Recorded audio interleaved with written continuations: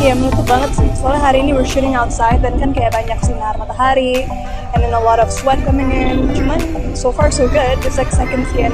I have a little bit of a zit here dan gak kelihatan sama sekali. Nggak ada. So far no cracks at all. Sesuai. Because like hari ini kita nggak pakai foundation on my neck. Cuman kan nggak ada bedanya sama sekali. Puas sih, because kayak, it's just like a second skin. Jadi kayak nggak kelihatan kalau pakai makeup tebel. So sesuai banget sih untuk sehari-hari. So I'm happy.